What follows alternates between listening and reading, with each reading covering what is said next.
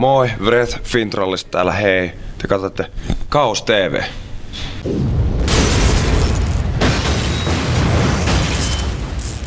No niin, eli morjesta vaan kaikille Kaos TVn katsojille. Me ollaan täällä Vaasassa tänään hullussa pullossa Vretin kanssa Fintrollista. Morjesta ja tervetuloa Kaos TVhen. Kiitos, moi moi. No kuinka teillä on lähtenyt vuosi Fintrollin kanssa käyntiin? Aika jännä meininki on nyt ollut ja nyt ollaan niinku Suomi-rundilla. Tää on niinku toka keikka tänään ja periaatteessa on niinku Bloodsweptin levyn tota, eka Suomen kierto silleen kunnon kuusi keikkaa ja ennen sitä oltiin, oltiin se 70,000 Tons of Metal risteilyllä ja siitä lähdettiin Mexico City soittaa Swallow kanssa vielä yhden. Et aika, aika jännä meininki ollut tämän vuonna jo tässä vaiheessa. No tosiaan, kuten mainitsit, niin te heititte keikan tuolla ri- legendaarisella risteilyllä, niin mitenkä tuo keikka meni? Se meni ihan hito hyvin. Tota, aika jännä, kun meillä oli, no eka kertaa kun oltiin siellä ekana vuonna, meillä oli todella huonot slotit, että me soitettiin joskus niinku kolmelta puoli neljältä työllä ja siellä ehkä joku 25 katsomassa siellä ulkona, että törkeä kylmää. Mutta nyt on, niin tota, meillä on luultavasti niinku koko sen niinku reissun tota parhaat slotit siellä. Et me avattiin sen pool deckin, että me oltiin olisiko se ollut mihin aikaan se oli 12 illalla siellä se oli ihan tukossa koko se kansi. Et ihan hyvä. Ja sitten oltiin vikana päivänä sitten niin kuin kahdeksalta illalla siellä sisällä. Ja se oli ihan, ihan tukossa koko sali. Et ihan törkeä hyvä meininki. Eli, eli kokonaisuudessaan meni sitten paremmin kuin ensimmäisellä kerralla, niin kuin keikkojen suhteen. Kyllä, kyllä. Ja just eka kerta, kun me oltiin, niin just se niin kuin työllä ekana päivänä. Ja sitten se, me oltiin niin kuin koko laivasta vikabändi. Me soitettiin periaatteessa päällekkäin tuon Amon Amartin kanssa sillä, että Amon Amart lopetti, kun me oltiin soitettu joku puoli tuntia. Ja me oltiin vikabändi, jotenkin niin alussa oli ehkä joku 15 ja sitten tuli ehkä joku pari sataa sinne. Mutta tällä kertaa niin molemmat keikat ihan, sille, ihan, ihan täynnä. No mitenkä toi ero toi soittaminen niin kuin laivalla suhteessa normaaliin settiin, mitä te vedätte? Oliko tuossa jotakin niin kuin sellaisia eroavaisuuksia? No ei nyt hirveästi, vaan just se, että toi niin kuin pitää miettiä, missä me ollaan, niin tota, että vähän silleen niin niin. laiva menee, että aina välillä voi tasapaino vähän heittää, mutta kyllä niin kuin yleisökin huomaa sen, niin tietää, että, ei, niin, että bändi ei ole kännissä, että se oikeasti toi, niin, toi laiva aika heilu. Mitä vaan voi sattua ja tapahtua periaatteessa? Periaatteessa joo, että voi laittaa aika paljon siihen niin, kuin, niin ja laivaan niin kuin, kiinni. No joo, me ei, ei siinä mitään muuten niin kuin ihan normimeininki, että hyvät PAt ja hyvät vehkeet, siinä mitään. Ihan jees kaikin puolin. Kyllä ihan jees ja se niin kuin itse risteily on tietysti ihan sille upea. on kiva tässä niin keskellä talvea lähteä, siellä on plus 28 ja aurinkoa ja halpoa ja tota, vahvoja drinkkejä, niin ei, suomalainen ei voi, ei, ei voi valittaa. No mä menisin justiin kysyä tuosta konseptista, että mitä mieltä sä tuosta konseptista oot. Onko siinä niin kuin mitään huonoja puolia? Että järjestetään isot bileet, metallibileet laivalle. No on siellä vähän semmoista, kun ei oikein ole mitään niinku backereita eikä mitään, niin siellä niinku pyöritään niiden sillä niinku noit niinku, mitä sanoo, asiakkaiden kanssa siellä samalla. Ja ei pääse oikein piiloon mihinkään, mikä on periaatteessa aika hyvä kanssa samalla, kun ne tulee sitten niin tarjoaa drinkkiä sulle baarissa, että ei tarvii itse ostaa mohitot. Mutta niin tota, en mä tiedä. Se on vähän semmoinen, no kun ollaan niin, niin suomalaisena niin tottunut niin risteilyyn, siellä on aika semmoinen niin risteilymeininki. Ja siellä on vähän semmoista, niin, että, että maailma on isoin niin kuin, juttu ikinä, tai, mutta ei se nyt niin kuin, ehkä suomalaisena niin. Niin suomalaiset on tottunut noihin risteilyihin. Niin. On tehnyt kaikki noin niin kuin, close-up-risteilyt ja mikä lienee nyt on, Spine Cruise ja. Radio Rock-risteilyt ja nää, niin Sweden Rock ja mitä ne nyt on. Niin, ei ne niin, niin paljon eroa. Se niin sää on niin kuin siisti ja laiva on tietysti semmoinen todella iso. Nyt Turussa tehty se on. Mutta niin, tota, niin. Mutta kokonaisuudessaan niin kuin hyvä kokemus ja voi varmaan suositella ihan TVn katsojillekin kyllä. suomalaisille, että lähtee sinne. Kaksi peukkuu kyllä saa. Joo joo, et hei, kyllä niin kuin todella hienoa. Se on niin kuin, vaan se, että se on törkeän kallis, jos sä lähdet silleen niin kuin. Meillä Kokemuksena kuitenkin aika unohtumaton. Kyllä. Et niin, tota, meillä oli jotain suomalaisia frändejä siellä, ne oli periaatteessa pistänyt semmoinen niin 3000 dollaria siihen, tota, kiinni siihen reissuun, mutta on se semmoinen, että ei istuu jossain, tota, se istuu jakutsissa, juo tota pinakolada ja katsoo, kun Mardukki vetää, niin että ei se, ei se huono niin, Ei se väärin ole. Niinpä.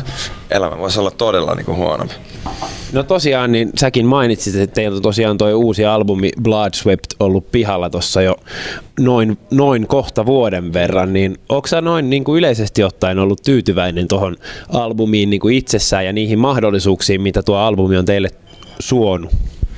Joo, mä sillä niin toi levy, huhu, se niin kuin levyn teko oli kyllä niin kuin se niin pitkä ja jotenkin kivulias prosessi, että oikeasti ja niin tullut itkettyä vertaa vitsi huhu, niin että sano sen niin kuin pakettiin. Ja me luultiin jossain vaiheessa me ei saada sitä niin kuin tehtyä, kun aika mennessä loppuu kesken ja lapsia syntyy siellä keskellä vittu miksaussessiot ja kaikkea niin tuollaista niin kuin tapahtuu, niin me luultiin jossain vaiheessa sillä, että tästä niin kuin ei tule ikinä mitään, että me ei saada tätä pihalle silloin kun pitää.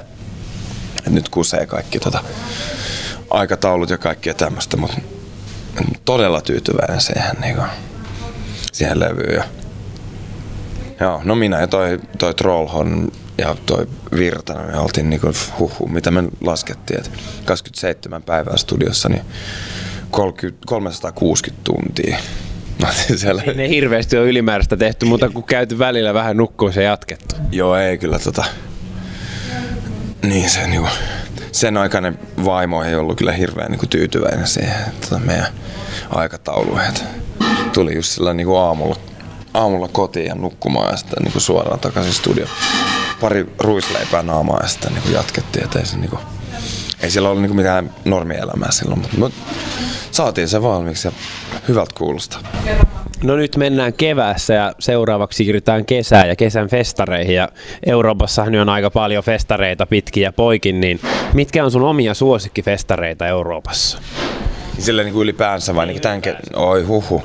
No, no ykkönen mun mielestä on se Brutal Assault, se on kyllä niin, kuin niin hieno festari.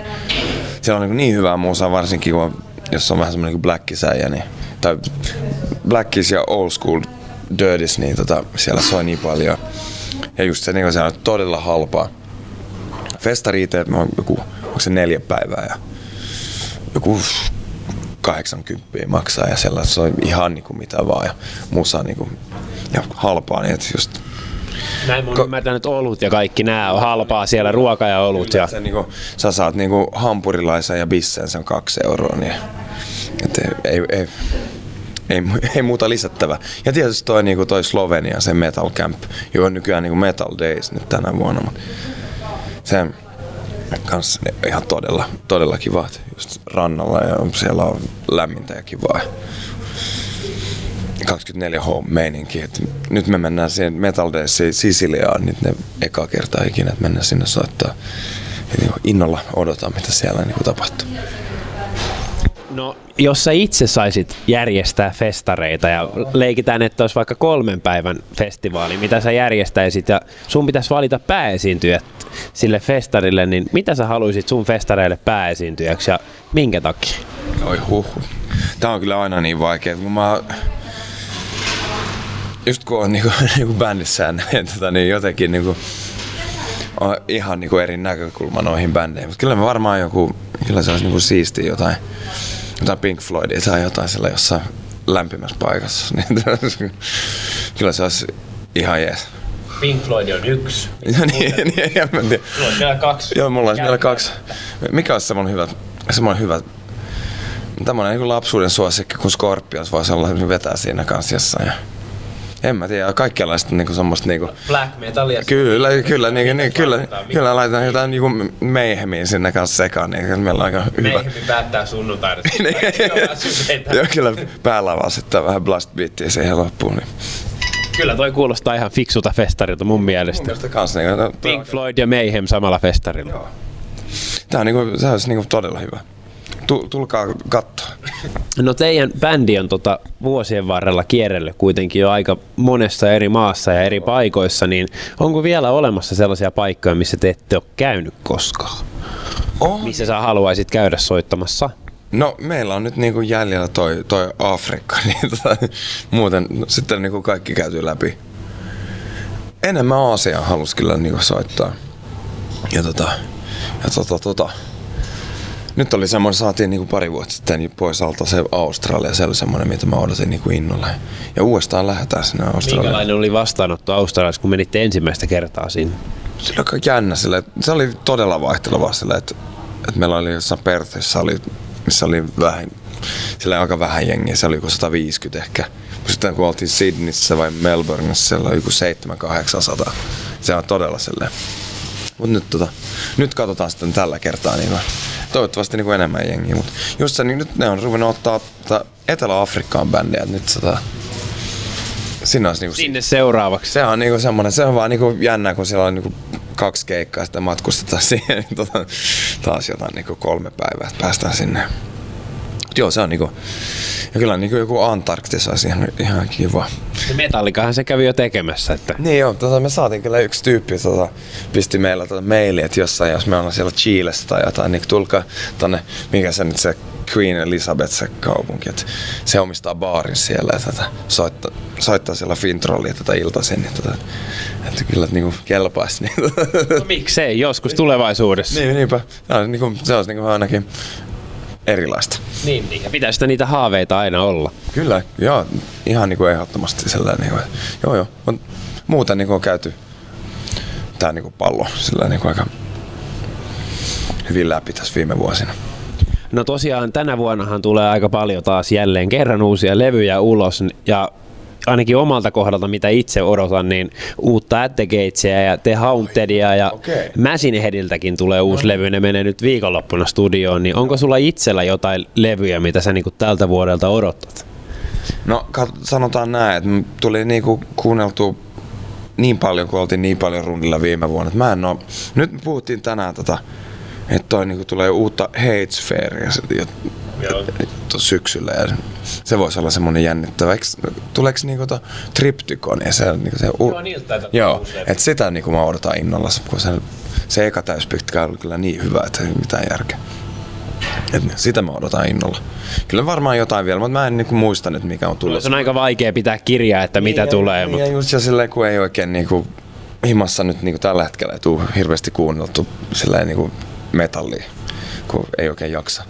No ei varmaan, jos on koko ajan tien päällä, niin haluaa kuunnella jotain muuta tai sitten ei kuunnella mitään, ihan hiljaisuutta vaan. Niin, niinpä jotain niinku, tota, jotain niinku chattiohjelmaa auki siinä taustassa, niin saa jotain Se käy musiikista. niin, jotain niinku eteeristä sinne taustaan, niin se riittää aina välillä. No tosiaan, niin nyt on tullut aika monelta bändiltä omia tuotteita niin kuin tässä nyt viimeisen vuoden aikana. Muun muassa Inflamesista tuli omaa viskiä ja 69 Alice julkaisi omat viinit ja Nightwishilta tuli omat reinokengät ja sun muuta, niin tota, jos sä saisit lanseerata jonkin tuotteen Fintroll-nimen alle, niin mikä se tuote olisi ja miksi? No sanotaan näin, me tehtiin tuolla tota, se Yrjyydesjyby, joka semmoinen aika villikortti heitä jo tehtiin niin Fintroll rannekello ja se oli niin aika siisti. Kyllä se olisi varmaan joku tommonen, jos nyt niinku Fintroll oli joku oma pontikka tai joku tämmönen, se voisi olla ihan hyvä, semmoinen todella paha makuinen. Jotenkin tulinen ja semmoinen jotenkin sille hällöttävä. Sekö olisi se juttu? Niin, tai sombrero, mä en tiedä vielä. No, joo. Kuvastaa yhtyettä. Niinpä. joo, uhu. Joo, mut joo. Ei, mutta jo, jotain niinku, en mä tiedä mitä niinku se... No teepaidat on kyllä vähän niinku katsottu, niin, mutta just se... No rannekellot oli kyllä hienoja. Ne oli... Ne oli ainakin jotakin erikoista, mitä ei ole yleensä yhtiöltä tullut. Että Niittirannikkeet, missä oli niinku kello. Ne on ihan hieno meininki. kiitoksia sulle haastattelusta ja onnea tosiaan tämän päivän keikkaan sekä tulevaisuuteen. Haluatko sä vielä lopuksi sanoa jotain TVn katsojille? Sana vapaa, voit ottaa mikrofoni. Jaha. Kiitos Suomi. On kiva soittaa taas täällä. Niin tota, nähdään tien päällä. Jes, kiitoksia.